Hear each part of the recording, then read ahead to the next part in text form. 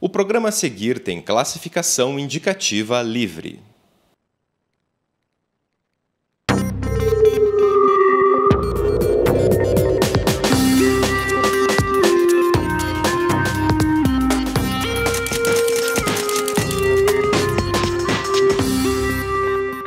Olá, seja muito bem-vindo ao FPR Notícias. Acompanhe agora as principais informações da Universidade Federal do Paraná. Há cinco anos, o grupo de pesquisa Interagir do Programa de Pós-Graduação em Educação da UFPR iniciava uma extensa pesquisa sobre o bullying no ambiente escolar. O trabalho deu origem ao projeto Conviver, que capacitou professores da rede pública para combater o problema. Nessa sexta-feira, foi realizada uma cerimônia de formatura dos participantes. O programa Diga Conviver promove a responsabilidade social reunindo escolas, famílias e comunidades para criar ambientes que ajudam estudantes de 5 a 12 anos a lidar ativamente com conflitos e a acabar com o bullying. O projeto foi lançado em uma cerimônia na UFPR Campus Rebouças no dia 28 de junho. A implementação do programa Diga é feita com a escola como foco da, das ações. Nós vamos incluir tanto ações como formação de professores sobre como usar alguns dos recursos e materiais do programa, que incluem planos de ensino, um, apostilas, formação online sobre como professores podem é, ajudar a promover a aprendizagem socioemocional, ou seja, como que a escola pode ajudar estudantes a se conhecerem melhor, a conhecer, entender melhor os outros e deste modo estar preparados para lidar melhor com situações de conflito que podem ocorrer. O programa participou de um edital da Templeton Foundation e foi contemplado com 234 mil dólares. A organização filantrópica americana investe recursos em projetos destinados ao desenvolvimento de virtudes e as forças de caráter. E no caso do Diga Conviver, a proposta é atuar no combate do bullying e na promoção de relacionamentos mais saudáveis. Esse programa, então, promove é, oportunidades formativas na escola para que essas diferenças não sejam tidas como um motivo pra, de, do afastamento das pessoas, mas justamente da descoberta de de quanto que essas diferenças, esse modo diferente de, de pensar, de ver as coisas, pode ser é, formativo para todos nós. Nesse primeiro momento, o projeto será implementado em 60 escolas municipais de cinco cidades paranaenses: Almirante Tamandaré, Araucária, Curitiba, Mandirituba e Piraquara.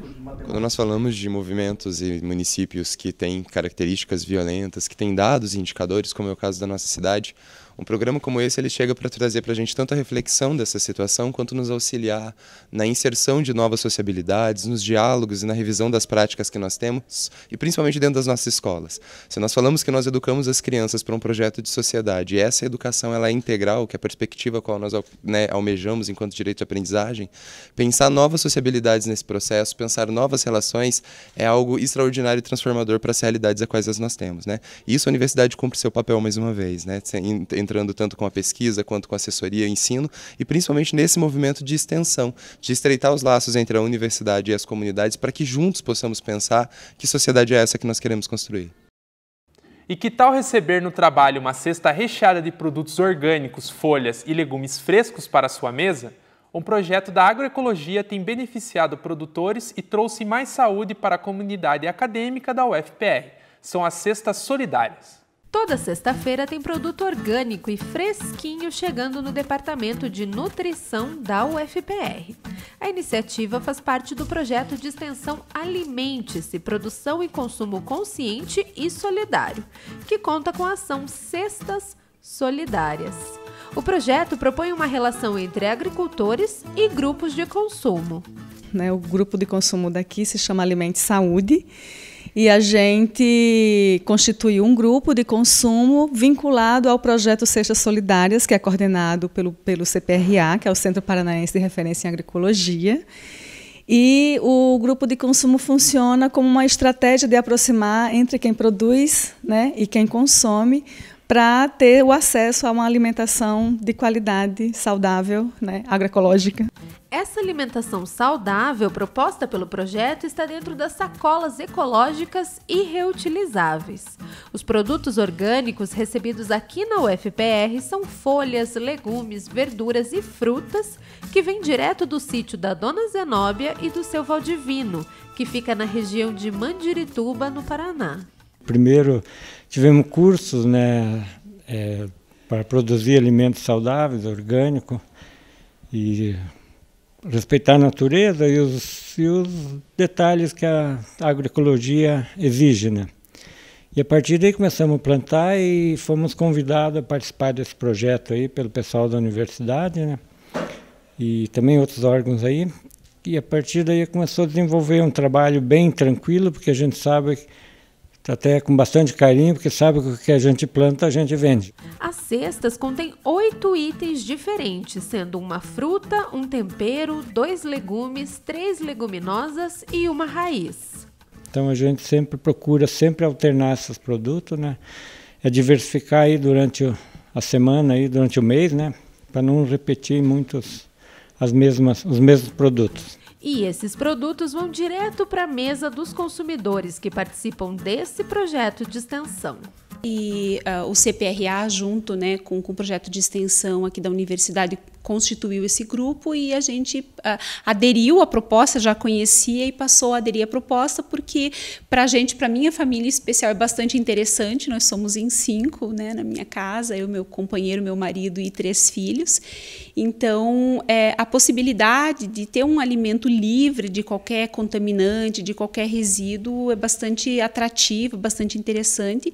E porque essa proposta ela tem um aspecto até mais amplo, assim, que vai para além da saúde saúde do consumidor e da consumidora que é a saúde também de quem está produzindo esse alimento. Né? A gente sabe que hoje no Paraná existem mais de 1.300 casos de contaminação né, de produtores e de produtoras por agrotóxico. É, então, a possibilidade de você consumir um alimento que, de uma certa maneira, ele é limpo, né? ele não, não agride, ele respeita o meio ambiente, a natureza, é, é, é bastante interessante. assim, né? Quem tiver interesse em aderir ao projeto para receber uma cesta, pode enviar um e-mail para projeto.cestasolidarias@gmail.com ou ligar para os telefones que estão na tela. Nesta segunda-feira será lançado o livro Diretrizes para a Elaboração de Políticas Públicas de Ciclo Mobilidade, que conta parte das experiências do programa de extensão Ciclovida, que desde 2008 incentiva o uso da bicicleta e transformou a universidade num polo irradiador de uma cultura de mobilidade urbana mais sustentável e saudável. O livro será lançado no Salão de Festas da Associação dos Servidores, a SUFEPAR, no Jardim das Américas, às 7 horas da noite. O livro é de autoria do coordenador do projeto, José Carlos Belotto, em parceria com o professor Antônio Gonçalves de Oliveira e com a servidora Silvana Nakamori. Qualquer pessoa pode participar do lançamento e mais informações sobre o projeto estão no site www.ciclovida.ufpr.br. O tempo volta a ficar firme e o sol aparece em quase todas as regiões do Paraná. As temperaturas sobem, mas até o domingo o tempo muda e pode haver chuvas fortes e até granizo. Confira na previsão do CIMEPAR.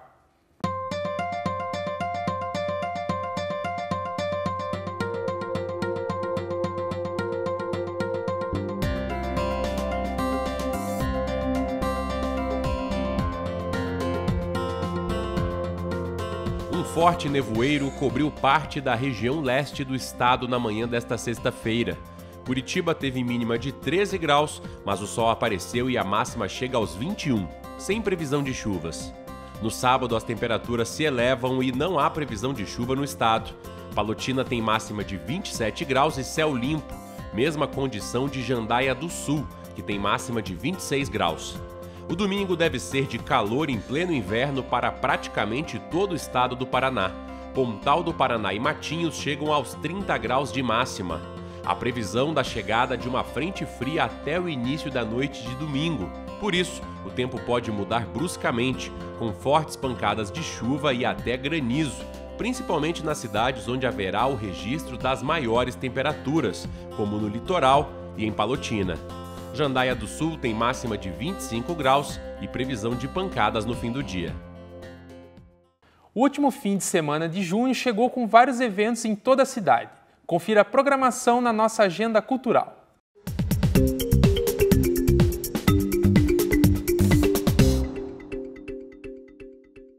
Ainda dá tempo de curtir as festas juninas antes de acabar o mês.